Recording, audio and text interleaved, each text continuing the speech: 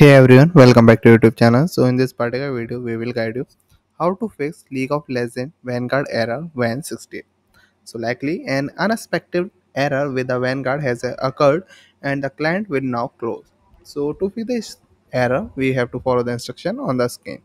So likely have the first fix, we have to do a uninstall and reinstall your Riot Vanguard. So you have to uninstall Riot Vanguard going to control panel. So like I have to show you how you can do this first of all you have to go into home screen. Then there you have to type a control panel. So after this you have to open this control panel. And now we have to go into program and feature. So they are there. And click on this. And now you have to find uh, your Riot Vanguard so like this will not in, in my device. So i have to show you how you can do this. After finding your vanguard or uh, likely Riot Vanguard so you have to click on this and then right click on this. So there are the option will appear uninstallation. So that's how you can uninstallation of your vanguard. For your reinstall your Riot Vanguard download the latest version of Riot Vanguard from the official website and the follow the installation instruction to reinstall it. So that's how you can done your solution first on your device. If this not resolve the problem so we have to move to fix true to likely say restart and use a vpn so we have to restart a computer restart a computer can sometimes resolve the issue Close all unnecessary application on your computer to ensure a clean restart.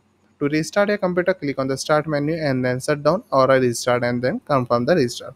So try a VPN. Some users say have reported success in using a VPN to connect to the game. To try a VPN, download and install. If a VPN client, launch it client and select a server, connect and then verify the connection. So now move to fix 3. If this also not resolve your problem of install install in your VPN so we have to disable a firewall. So likely open window defender firewall. So we there you have to type a or press window plus r. So there you have to type likely wf.msc so and then hit the ok button so there you have to open a window defender firewall. So likely these are this. Is on and the window defender firewall is where advanced security provide network security. So these are the window defender firewall. And then you have to disable the firewall. Right click on the window defender firewall and then select turn window defender firewall on and off.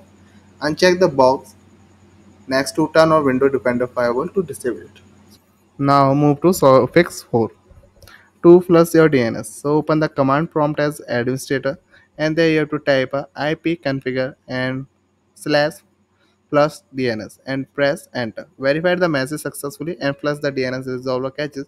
So close the window and check if the error persists. I hope you understand very well how you can resolve this problem. So thank you for watching this video and we will catch you in the next video with the further information.